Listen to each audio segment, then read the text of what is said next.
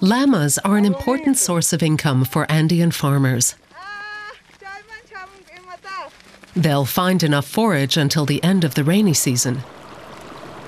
But in just a few weeks, that will change dramatically when the season ends. The streams will dry up and the grazing land will turn brown. As the climate changes, the dry periods in the Bolivian highlands are getting longer. Surviving here is becoming more and more difficult.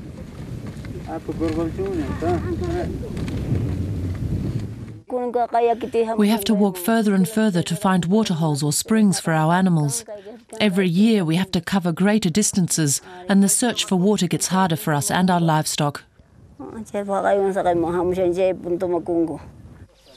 New water retention basins called atajados are designed to help the people of the Bolivian highlands. Farmer Tomas Pillico depends on his atajado to survive. The 1,200 cubic meters of water it holds gets his family through the dry season. During the worst part of the drought, the atajado will be our only source of drinking water, both for the livestock and for my family. The rainy season in the Andes is now much shorter than it was in the past. The amount of precipitation that used to fall over the course of six months now falls in just three.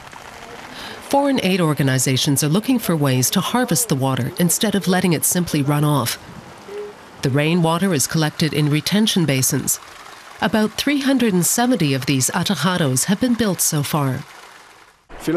Everything might be dry again in an hour, but the water flowing here will be collected over there so it can be used for agricultural purposes. The Pillico family uses it to grow onions, beans, and potatoes in a small plot. They have little other choice but to try to adapt to the changing climate.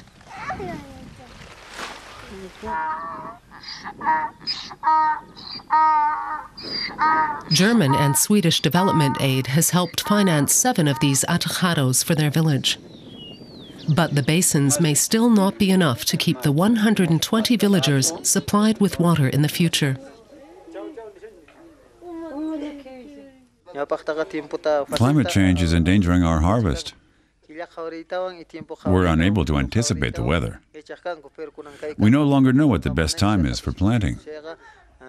There's far more severe weather and hailstorms than there used to be.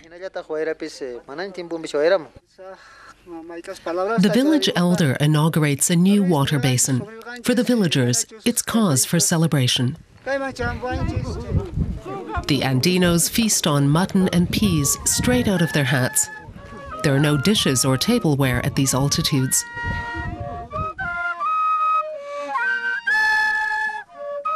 But there is traditional music, a song of hope that the new atajados will, at least, help take the edge off their thirst in the future.